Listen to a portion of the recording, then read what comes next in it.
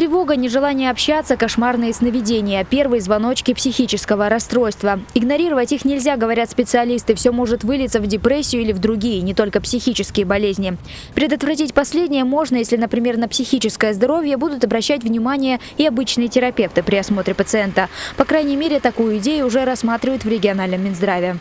Решено что будет э, подключился медуниверситет, обучающий курс будет проведен. Наши доктора будут, поедут э, во все районы Алтайского края с обучающим курсом как для психиатров в том числе, да, так для всех медицинских работников, э, вот, всех наших ЦРБ и прочих-прочих заведений.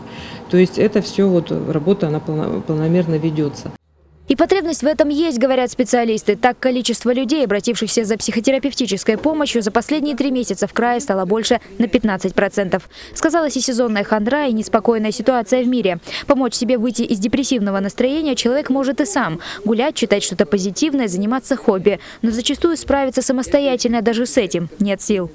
Конечно, это диспансер. Вы идете на прием к врачу-психиатру, работает диспансер точно так же, как любая поликлиника, участковый метод такой же. То есть позвонили, узнали своего участкового врача-психиатра, записались и пришли к нему. Все, вас доктор осмотрит. И уже по результатам осмотра будут дальше тактика действия, лечения. тактика будет разработана.